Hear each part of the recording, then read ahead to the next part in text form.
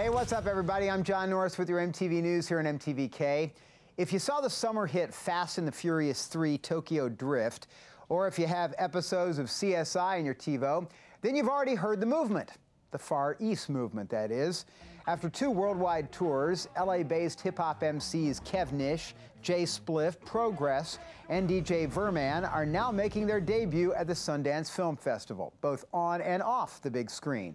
This month, the Far East Movement hit the slopes out west in Park City, Utah, for the world premiere of Justin Lin's Bruce Lee comedy Finishing the Game and to perform at the Sundance Music Cafe.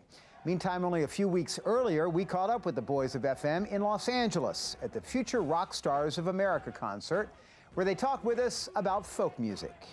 Folk music to us represents music for all races, all faces. These faces, um, you know, every color you can think of and all places around the world, around the globe. That's what folk music is to us. You know, we're trying to touch folks and family, trying to create a serious, not serious, but a serious Real movement. serious, you son. know what I mean? Tell 'em Real what- Tell them what direction we're moving, son. East. We're, we're, we're moving. We're moving east, yeah. Never eat soggy waffles. We're moving east. Yeah.